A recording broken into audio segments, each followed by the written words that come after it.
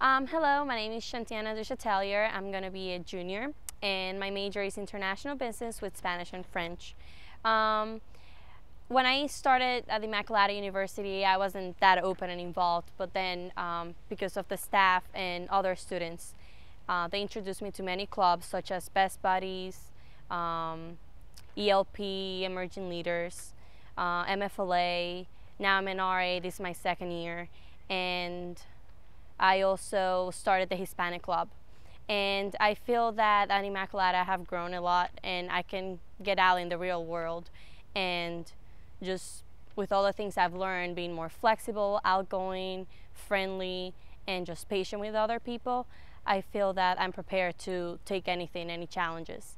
And I suggest to you guys to get involved at IU. And if you don't know anything, just ask someone, go to the student affairs and um, just ask any questions that you have. And even if there's another club like the Hispanic club that wasn't here, um, just talk to anyone and they'll send you to the right person so you can start your new club. Just ask all the time and that's my advice for you.